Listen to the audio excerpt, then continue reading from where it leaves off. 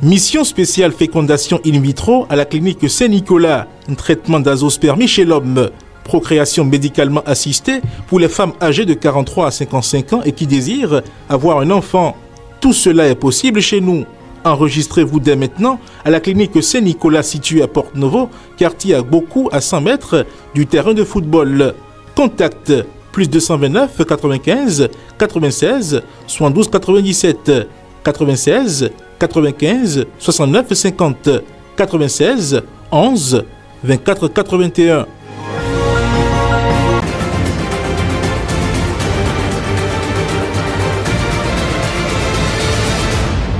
Guéry TV Monde, le leader des Web TV au Bénin.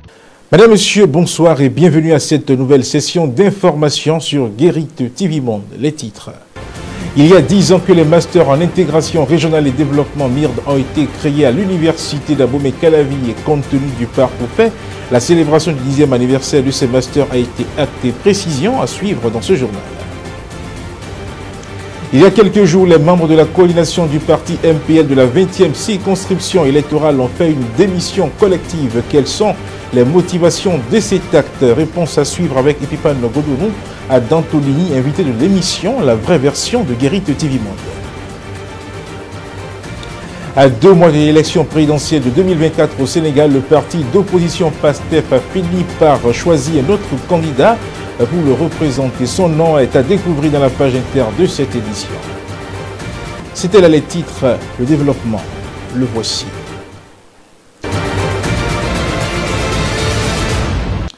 Mesdames, Messieurs, à nouveau bonsoir. Le dixième anniversaire de la création du Master en intégration régionale et développement MIRD n'est pas passé inaperçu à l'Université d'Abomey-Calavi. Un programme de célébration a été élaboré et mis en œuvre le vendredi 17 novembre 2023 à l'amphithéâtre Idriss Demi Itno. Voici le compte rendu de la cérémonie. En dix ans de parcours, les Masters Intégration Régionale et Développement, MIRD, affichent un bilan globalement positif. À l'occasion du dixième anniversaire de création de ces masters, le vice-recteur de l'Université d'Abomey-Calavi en charge des affaires académiques a reconnu les mérites de ces cours. Ces masters ne se sont pas contentés d'être une passerelle vers une éducation de qualité. Ils ont également façonné des leaders capables de relever les défis complexes de notre époque. Il y a dix ans, les MIRD ont été créés pour répondre à des besoins spécifiques selon le professeur Espédi Vissin qui en assure la coordination. Ce master a évolué. Il a mûri. Il a mûri parce que, ayant quitté les maîtrises professionnelles pour devenir master, nous avons tout fait pour que les, programmes que nous avons avec les besoins du marché, ce qui fait qu'à l'intérieur du master MIRD, nous avons trois à six masters et ces masters ont mis sur le marché de l'emploi des compétences indiscutables. Dans les communes, vous allez les voir. Il y en a, ils se positionnent un peu partout. Le succès des MIRD est le résultat de la combinaison des efforts de plusieurs compétences du monde universitaire. Les mérites de ceux-ci ont été reconnus à la faveur de ce dixième anniversaire. Leur porte-parole, le professeur Michel Bocor, s'est réjoui des résultats atteints par ce master coordonné par l'un de ses disciples. Ce qui m'a surtout fait plaisir, c'est le courage que le professeur Vissin a eu de tenir, tenir fermement grâce surtout à l'appui de l'administration hiérarchique. Pour avoir suivi jusqu'à terme et avec succès les cours du MIRD, trois promotions d'étudiants ont reçu leur parchemin. Il s'agit des 8e, 9e et 10e promotions. Et avec les expériences que nous avons acquises, moi je ne peux que conseiller le, master MIRD, n'est-ce pas, à tout étudiant qui veut aller à la pratique, qui veut exercer euh, soit en développement local, soit en gestion de catastrophe, soit en hôtellerie, je conseillerais, n'est-ce pas, une seule adresse, c'est d'aller s'inscrire au Master MIRD à l'UAC. En 2014, quand il posait la première pierre du bâtiment destiné aux étudiants du MIRD, le professeur Maxime Dacrose ignorait qu'il verrait jusqu'à 10 promotions d'étudiants de ce master. J'ai revu une belle équipe, une équipe résiliente qui, malgré les difficultés, les obstacles, a su relever les défis. Aucun de nous n'était sûr de se retrouver à cette étape. Pour les 10 ans des masters intégration régionale et développement, ce gâteau d'anniversaire a été conçu. Pour la circonstance Ce journal se poursuit. Invité de l'émission La vraie version du dimanche 19 novembre 2023, l'ex-coordonnateur du parti MPL dans la 20e circonscription électorale a révélé les vraies raisons de sa démission de ce parti de l'opposition avec d'autres membres. Suivez-en un extrait. Après les élections législatives, plusieurs choses se sont passées au sein de ce parti. Bien avant, les élections, il y a euh, beaucoup de choses que nous avons digérées c'est quoi ces choses-là? Bon, euh, dans le parti, et en fait, c'est l'organisation ou le directoire du parti. C'est seulement au niveau du, directoire que les grandes décisions sont prises. Il y a souvent euh, cet oubli de la base des, différentes coordinations des circonscriptions électorales. Nous ne sommes pas souvent et euh, on ne demande pas souvent notre avis avant de prendre des, décisions et c'est généralement euh, le président et peut-être quelques vice-présidents ou les vice-présidents qui prennent souvent les décisions et que nous nous sentons souvent lésés dans ces différentes décisions-là. Mais comme on dit que ce qui, ce qui nous réunit dans le parti est plus grand que ce qui nous divise, nous avons accepté rester, travailler avec eux malgré les, les difficultés que nous rencontrons. Et pendant les, élections aussi, il y a beaucoup de choses, surtout euh, l'organisation pour la bonne marche, pour la réussite de, ces élections au sein du, du parti. Il y a seulement le président, les vice-présidents, ceux qui sont dans les directoires qui peut-être pour la couverture médiatique des différents mouvements du parti. C'est seulement ceux qui sont au niveau du directoire qui ont bénéficié de ces différentes choses. Au lendemain des élections, euh, le vice-président chargé de l'Atlantique, M. Billy Houmassé, il m'appelle pour me dire qu'il y a une certaine euh, difficulté au sein du directoire, comme quoi il y a euh, les frais de campagne qui étaient destinés au parti, que le président, euh, lui seul s'est accaparé de, de, de cet argent-là et que on doit demander sa, son départ, sa démission. Mhm. On dit OK. Vous savez que le parti a eu de, l'argent pour participer aux élections, mais vous nous avez rien dit. Vous nous avez laissé comme ça. Et c'est après nos investigations, euh, après les différentes questions que nous lui avons posées, qu'il nous disait que lui-même, il a pris une certaine partie de, de cet argent-là, mais que le président n'a pas finalement respecté l'accord qui était peut-être pris entre les différents membres du directoire. Et c'est pourquoi on doit demander sa, sa démission. Mais en réalité, l'argent a été dilapidé au sein, au niveau de, des responsables du parti. Voilà, des responsables du directoire. Du Je suis responsable aussi, mais je n'ai pas été associé. Donc voilà là le nœud du problème. Le véritable nœud. Euh, parce que nous avons dit on peut pas, on peut pas avoir de l'argent, le, le parti ne peut pas avoir de l'argent pour euh, les élections et que ce serait seulement les membres du directoire qui doivent se partager et cette somme-là. Et nous qui sommes dans les, dans les autres circonscriptions, nous n'avons, nous n'avons pratiquement rien reçu et ça, ça fait déjà beaucoup. La page était à présent.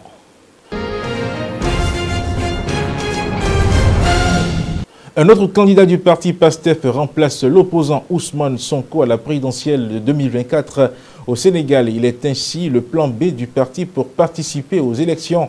Son identité est à découvrir dans la page inter présentée par Evelyne Dossou, dans laquelle elle nous apporte également des informations liées au nouveau président du Libéria.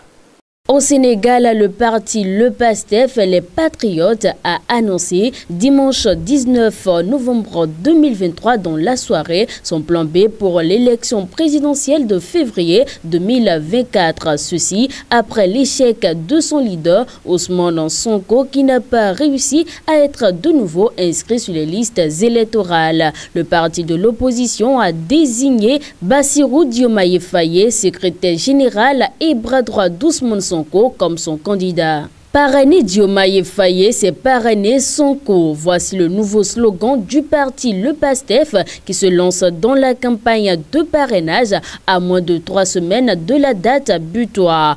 Face au refus des autorités de donner à Ousmane Sonko ses fiches de parrainage, le choix s'est porté sur Bassirou Diomaye Faye, devenu plan B du parti. Cela selon la déclaration publiée par les quatre autorités candidats du PASTEF à la candidature validée par Ousmane Sonko qui est actuellement en prison. Celui qui est secrétaire général du PASTEF et bras droit d'Ousmane Sonko est en détention depuis le mois d'avril. Diomaye Faye avait été arrêté après avoir publié un post sur les réseaux sociaux où il critiquait le comportement de certains magistrats dans l'affaire de diffamation qui oppose Ousmane Sonko et le ministre du Tourisme Mame Baye Nyang. Le parti appelle ses sympathisants à le soutenir en masse, une manière de vouloir montrer le poids politique du mouvement et sa capacité mobilisatrice.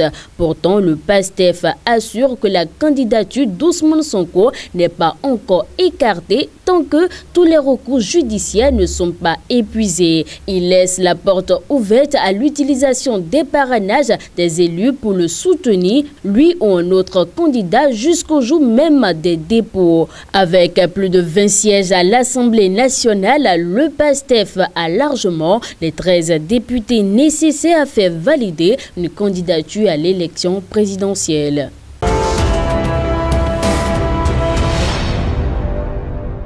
Au Libéria, Joseph Boaké, vétéran de la vie politique libérienne, est parvenu à s'imposer face au président sortant et légende du football Georges Weah. À 78 ans, Boaké est le nouveau président du Libéria. Il a promis de former un gouvernement inclusif dans un pays qui a été marqué par plusieurs décennies de guerre civile. Comme Georges Weah, Joseph Boaké est issu de la population autochtone et non de l'élite américaine américano-libérienne, descendante d'esclaves affranchis qui a longtemps dominé le pays. Il se décrit comme un homme ordinaire qui s'est extrait d'une condition modeste par le mérite et le travail. Le nouveau chef d'État du Libéria est originaire d'un village reculé de la province de Lofa, frontalière de la Guinée et de la Sierra Leone, et souvent présenté comme le grenier à blé du pays. Il va enfin pouvoir mettre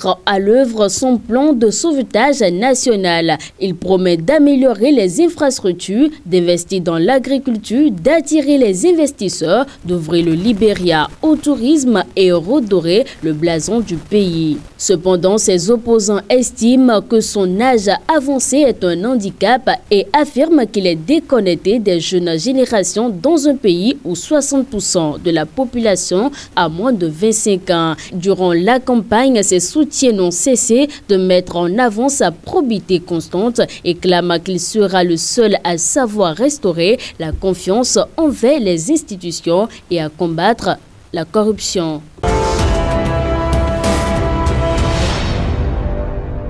En RDC, l'opposant Matata Ponyo se désiste en faveur de Moïse Katumbi et invite d'autres candidats à l'imiter. Alors que la campagne électorale a été lancée ce 19 novembre 2023, l'ancien Premier ministre Augustin Matata Ponyo, un des candidats de l'opposition à la présidentielle du 20 décembre 2023, a annoncé dimanche son désistement. Une annonce qui fait suite aux discussions qui se sont tenues à Pretoria, en Afrique du Sud, la semaine écoulée entre des émissaires de cinq candidats de l'opposition. Matata Ponyo a fait son annonce dans un message de près de six minutes, diffusé sur sa page Facebook et dans lequel il expliquait les raisons de son choix. L'élection présidentielle du 20 décembre prochain se jouera sur un seul tour. Augustin Matata Ponyo a donc mis en avant l'accord que viennent de signer les émissaires de quatre des cinq leaders d'opposition qui ont discuté pendant ces jours en Afrique du Sud en vue d'arriver à une candidature unique face au président sautant Félix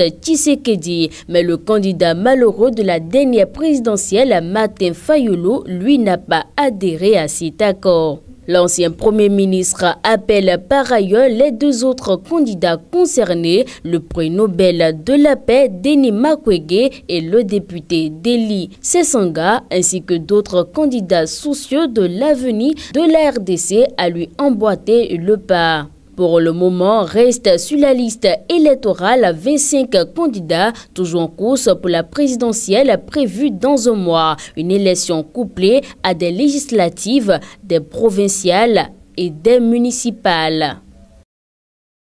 Ouvrons maintenant la page des sports.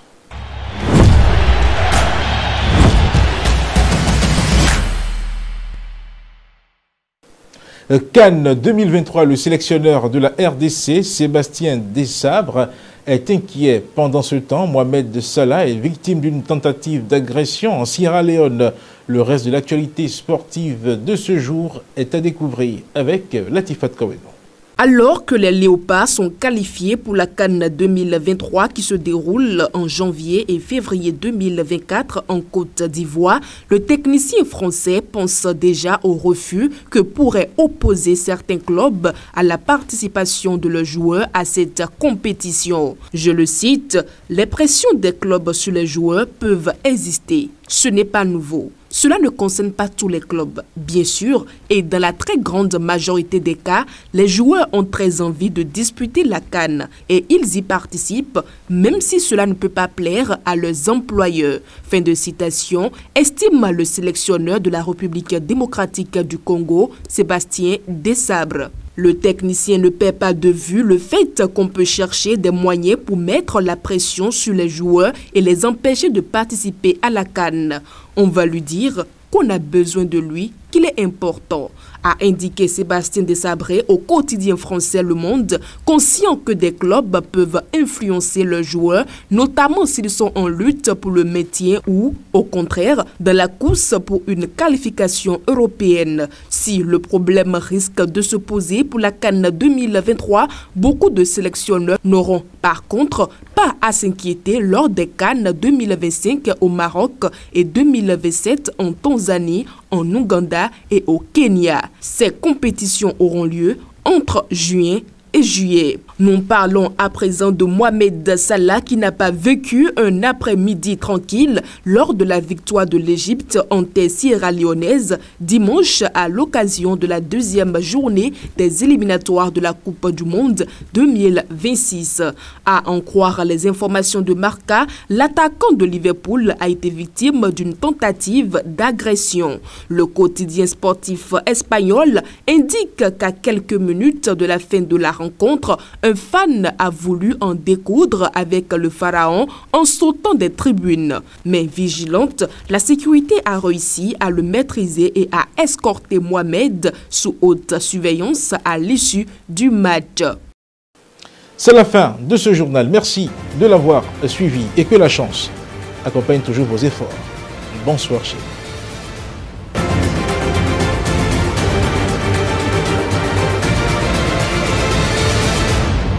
Guéri TV Monde, le leader des Web TV au Bénin.